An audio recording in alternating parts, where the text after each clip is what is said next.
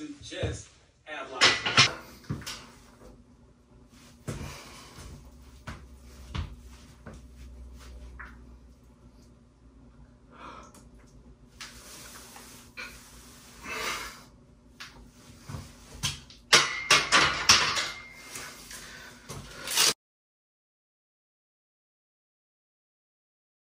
just love the game and play the game the right way and so on and so forth. It's like, well, however you want to leave it, whatever you give the game is going to give you back. But there's only so much you can give it when you're sitting on the side.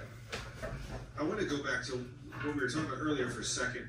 It, it, you talked about the balance, right? We talked about the moderation. I think that's one of the reasons this season has been so hard for a lot of players, is because in these highly competitive environments, you need to have your escape, even if it's for a day. You go to the movies, uh, you go to dinner with your teammates on the road. None of those options are available to us right now. Um, And they, uh, they allowed cannabis this year. it's 100% Time there.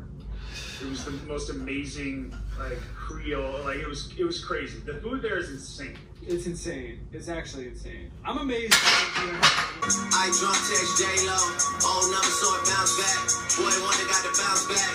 Used to get paid for shows in front door, money 5, 10, 20 cents, sanitize, had to your count that. Me and Gibbo was about. Eating